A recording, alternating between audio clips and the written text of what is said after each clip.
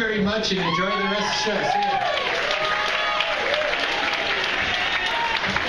Hippie Man, everybody. Give it up for Hippie Man. One more round of applause.